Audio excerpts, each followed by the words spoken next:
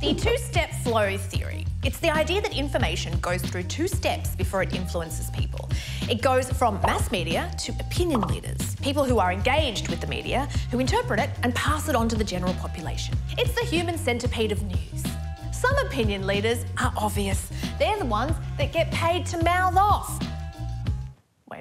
Others are less obvious but more powerful. See, the two step flow theory was developed well before social media, before television, really, in the 1940s. Researchers looking into the US election found most voters got their information from other people who read about the candidates in the newspapers rather than directly from the newspapers themselves. They concluded that personal contacts influence voting behaviour more than the media does.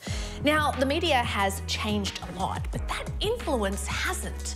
Here's a more recent experiment where researchers sent political messages about an upcoming congressional election to 61 million Facebook users and found close friends who shared the message exerted four times more influence on behaviour change than the message itself.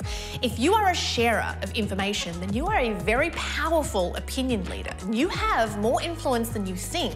Do you want to add to a world where fake news spreads because people trust their friends too much? If you want to stop the spread of misinformation, then make sure what you post and what you consume, particularly from family and friends, is the real deal.